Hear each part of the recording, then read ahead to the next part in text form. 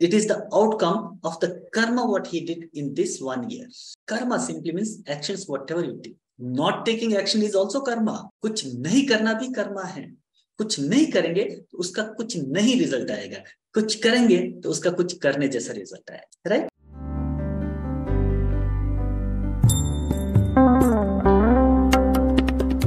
कोई भी बीमारी है जीवन में कोई भी परेशानी है it is all because of that person karma only and when I say karma doesn't mean karma of the past life क्योंकि कर्मा जो वर्ड है उसका बहुत से मिस इंटरप्रिटेशन है जैसे karma is something now say for example if you in 10th standard जो दसवीं में है बच्चा और पूरे एक साल में वो जो पढ़ाई करता है दैट इज़ हिज कर्मा और वो उसका जो रिज़ल्ट आता है that is the outcome of his karma अगर वो पूरे साल में पढ़ाई नहीं करता है एग्ज़ाम में ठीक तरह से नहीं लिख पाएगा ही ना फेल हो जाएगा। तो उसने जो कर्म किया, पढ़ाई नहीं करने का कर्म किया, उसका रिज़ल्ट है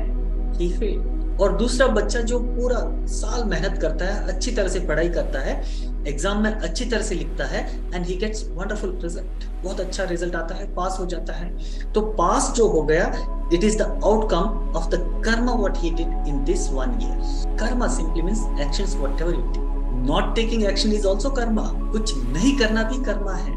कुछ नहीं करेंगे, उसका कुछ नहीं रिज़ल्ट आएगा। कुछ करेंगे तो उसका कुछ करने जैसा रिज़ल्ट आएगा। राइट तो हम जो कुछ भी आज है it is all because of our karmas and our choices हमने जो भी चूज़ किया। Again take the same example कोई बच्चा चूज़ करता है कि I have to study to get good marks the other child choose I don't want to study तो जो पढ़ने का चूज़ करता है चॉइस लेता है he gets the good marks जो नहीं पढ़ने का चॉइस लेता है he fails correct so whatever choices you make in your life that decides what kind kind of karmas you will do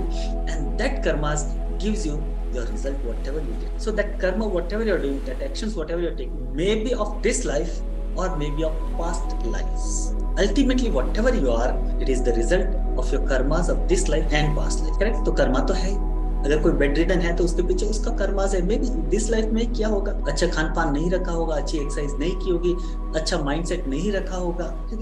या हो सकता है अगर इस लाइफ में सब कुछ अच्छा था तो डेफिनेटली पास्ट लाइफ का कर्मास होगा whatever it is now coming to solution part therapy कौन सी यूज़ करें? You can apply multiple therapies अलग अलग थेरेपी इस्तेमाल कर सकते crystal therapy reiki healing pranic healing affirmations visualisation hypnotherapy possible जो कुछ भी आप, वो अगर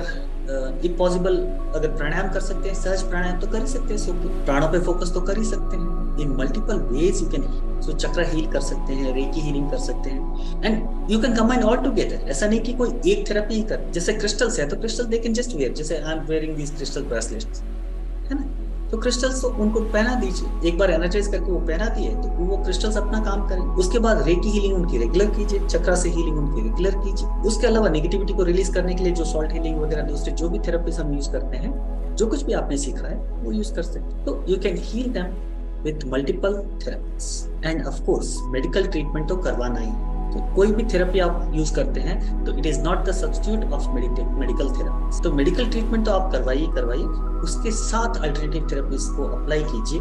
जितनी भी थेरेपीज आपने सीखी है, वो सारी अप्लाई कर दीजिए। रिज़ल्ट तो आना ही।